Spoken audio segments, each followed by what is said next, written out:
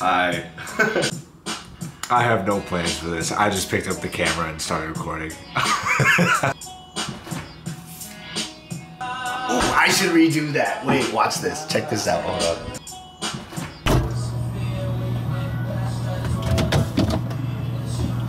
on. You see that?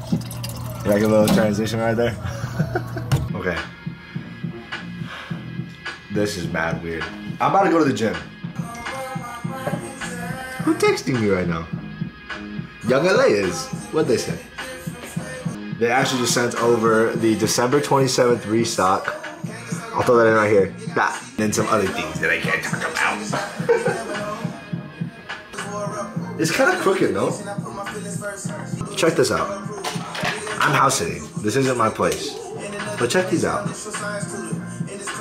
Fire, no? Mad dirty. Like so dirty. I don't know what activities took place with these things on, but I do not want to know. I should not have those on my face, actually. um, so today we have delts and arms. So that's shoulders and arms. I like to run a scoop of Essential Pre-Workout by Raw. This is about 200 milligrams caffeine, so not too hyped up, and a lot of the essentials things that you need. But I also like to throw in a scoop of Raw Pump Mix. Uh, just helps you get a little bit better blood flow. I like a lot of beta alanine just because I like the, the tingle. Helps me, it's kind of like a placebo effect. It makes me think like, oh, this is actually working, you know? It does actually work, but I have trust issues. I have no idea what I'm doing, by the way. I don't know what to expect out of this video. I literally five seconds ago picked up the camera and I was like, fuck it. And I pressed record. So I guess we'll see what comes out of this. What'd you do? I think she pissed. Did you pee? Hold it. I'm so, I'm so sorry. I'm so sorry. I didn't know you were right next to my foot.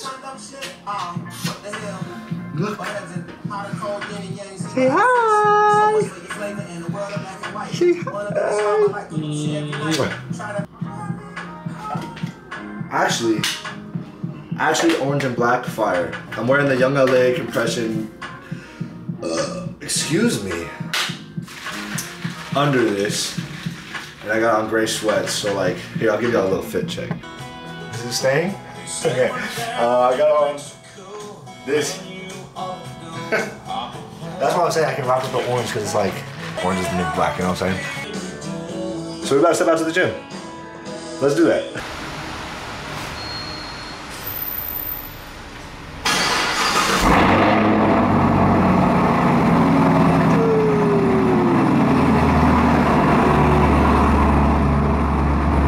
Ain't that motherfucker loud as shit?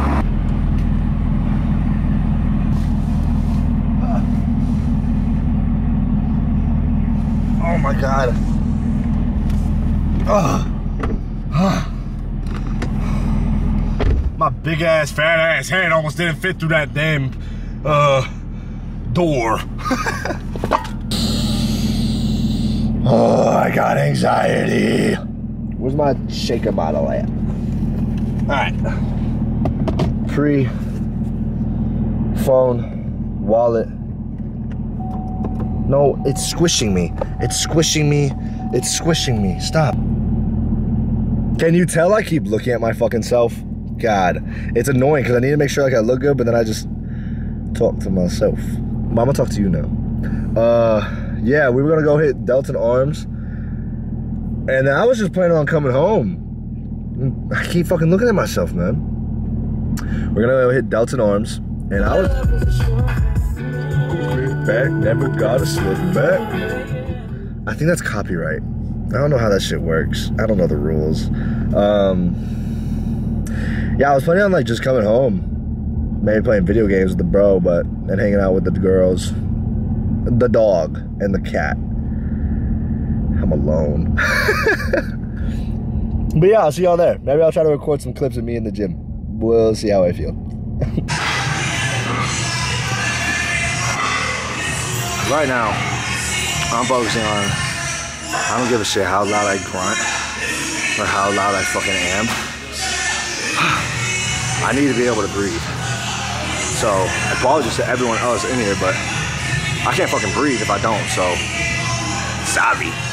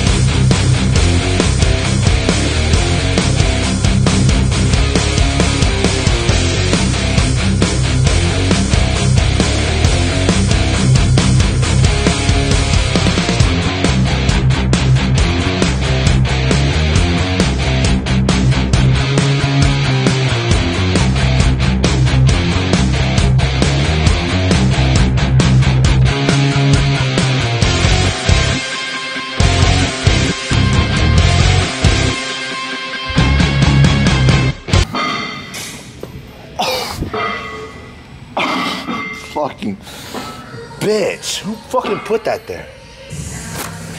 My hands are full. Fuck. My rear delts at least.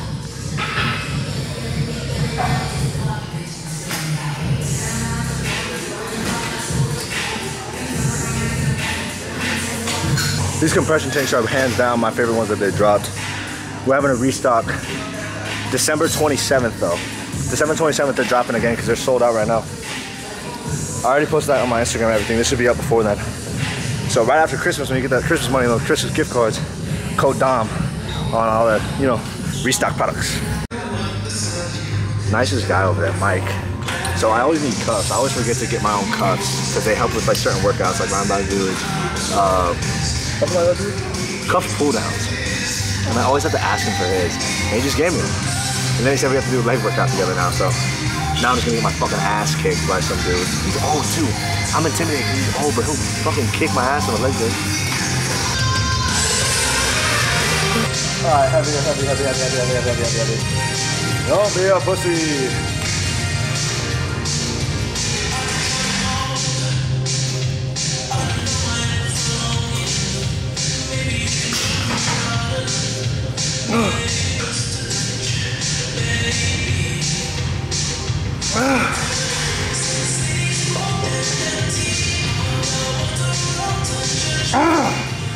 Come on. Ah. Come on.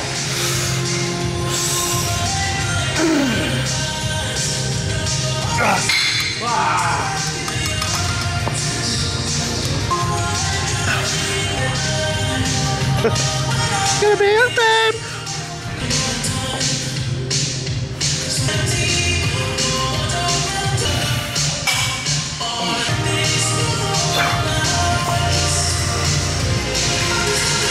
Good.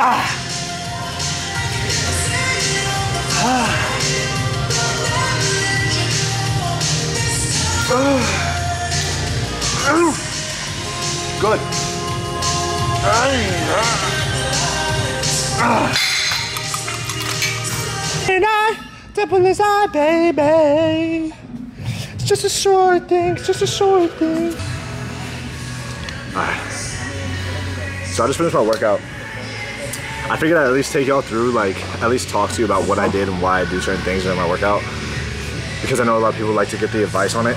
Um, so the way I train is I do a, a, bodybuilding style training. So that means I'm working on isolating specific muscle groups every time I come in here and trying to break down the muscle as much as possible to cause stimulus for growth.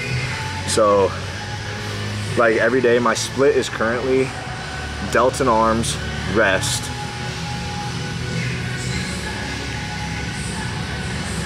delts and arms, rest, quads and calves, push, pull, rest, and then hams and back. Um, I like to do that because like it, like on a push day and a pull day, it's not so isolated to where I can work out more muscle groups because like when you're doing a push day, you're focusing on hitting your chest a lot. But then the secondary muscle groups in that, like your chest is your primary muscle group. The secondary muscle group is going to be your triceps and like your front delt or some of your delt. On a pull day, the primary muscle group will be your back with your lats. Secondary muscle groups will be like your forearms and your and your biceps um, and like your rear delt. So being able to do rather than just a back day, I can do a back day with four good movements for my back, three most likely most of the time, and where I push those to absolute failure um, because that's really all you need. You don't need to do 28 different lifts, 28 different types of angles for to get growth. Okay, if you're training like three different movements to absolute failure, you're good. From there, you do about two movements for the other muscle groups. So I'll do like two biceps and then two shoulders, and then I'm done. Um, so today I did delts and arms. I started off with lateral raises on the machine. Um, that's also a good warm up. Um, and so I did, I mean, y'all saw I did my lateral raises and then I did uh, partial laterals. So whatever weight I was doing for the lateral raises, I want to look to increase that by about 50% if I can. And I'm looking to do about 30 reps with that weight at partial range of motion. So instead of doing a hole from the bottom all the way to the top and then back down, I'm really just going from the bottom to like there, like barely moving. But getting that extra, that heavy ass weight on there for such a high amount of reps, it helps you get a lot more blood to the muscle group, okay? And it, it's kind of like a boom, like it hits that shit. Immediately after that, I'll go to the shoulder press, which y'all saw I was doing. By that point, I wasn't entirely warm yet. It takes me quite a while to get into the groove of my workout. It really is annoying, but it's okay. Um, I ended up doing what 140, 140 for I think it was nine. Um, not bad. I'm pretty sure I've done better, but I've been off my game just a little bit recently. Um, and then what I do after that? From there, I went to rear isolated rear delt flies. Um, a lot of people neglect their rear delts. You'll see a lot of people, like me personally, like going onto when going onto stage. A lot of people, it's the first thing you'll notice from the back shots. Pause. Is they're lacking rear delts because you can't see it really when you're looking in the mirror head on, and if you're not thinking about that, you'll you'll forget about it. You won't even care because most people, you know, they go here, they see the light, the the side right or the, the lateral delts. They don't they don't even see the rear delts, so they don't care. Um, so I hit that. That was when I started getting going, right?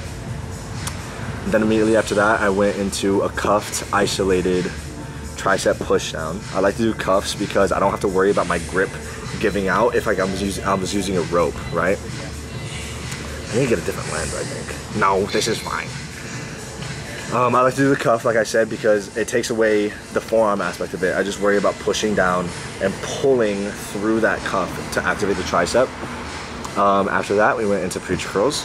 Um, I like to use free weight for preacher curls. It's just preference. Um, I feel like I'm able to control the weight better, have a true feel of the weight rather than rely on a, a machine. And then we went to cuffed overhead. Oh no, we then went into uh, forward leaning uh, incline curl standing, um, which hits the outside of your bicep and like your forearm, like right here where it ties into your forearm, like like right there. And then we did oh cuffed overhead like extension, katana extensions. I like those because they get a pretty gnarly stretch with your lat all the way up. And focusing on keeping your shoulder down but extending that tricep, it stretches right here pretty crazy. Um, yeah, didn't do core today. I'll probably do. I'll do. I'll do cardio today. I need to do cardio. I had some blueberries. I had some extra um, Brookside chocolates today that don't tell coach. So I'm about a month and a half away from prep. I start prep in mid-February. I'm doing a show on July 6th, the Ikaika Classic, and that's when it gets real serious. I mean, actually, it gets serious now. It got serious a couple months ago, actually, for real. Um, but yeah, that was the workout. But the main thing that goes into any workout is it doesn't mean shit if you're training like a lazy bitch. If you're going into the gym and just lollygagging, not caring, just throwing around weight, not actually like you're literally just like like you're not doing shit really. Um, you need to come into the gym with a set goal. Um, and you need to train with intensity. And if you're doing bodybuilding style training, or I can't really speak on powerlifting training. Let me think. Yeah, any type of training, you need to train to failure. Uh, think about how how can I exemplify this? Oh, okay. So say you take this is how building muscle works, and this is a simple way to put. Hey, peace out, bro. This is a simple way to describe progressive overload. Okay. So imagine you have a young kid. Okay, they're very good at math. You teach them from zero. They have no idea what math is and you teach them all this stuff up until let's say algebra 1 okay so they are phenomenal they grew so much up until algebra 1 and then right when you hit algebra 1 you never changed it. You really just gave them the same problems they've already seen before stuff they already know how to do perfectly fine super easy. Um, it's not very hard for them at all. Um, at times it can be a tiny bit challenging but not really um, depending on certain factors okay? So that means that kid is no longer going to progress in math. He's just going to stay, bam, right there. He's not going to get any better. He's not going to grow. So, in order, when you're looking at it in terms of muscle, your muscle will stop really growing. You're not, your body has no need to break down that muscle anymore. It's not breaking anymore. It's strong enough to withhold that. So, it's not gonna break down. Thus, it's not going to build back bigger than it was before through protein synthesis. Okay? So that's why it's important every time you go into the gym to train to failure. You up the weight small bits at a time every time you come in, really by like 2.5 pounds. That's like the most you should increase at once, really, for a good, steady, progressive overload. Every week or every two weeks, you're either progressing in weight, in time under tension, or in reps, or in uh, sets. Okay? In weight, that means you're going up by like 2.5 pounds. In reps, you're doing more reps than you did last week with the exact same amount of weight.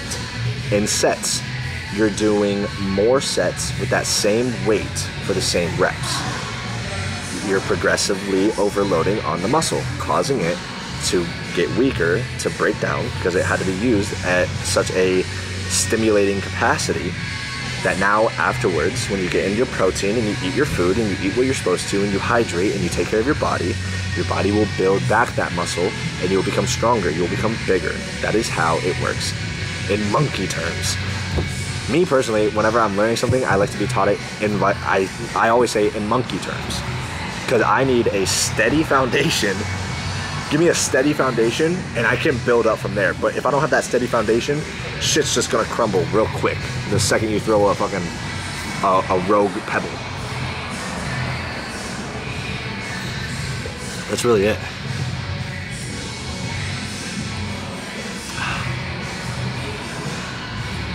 Uh, follow my Instagram, add me on Snapchat. All of them will be linked below.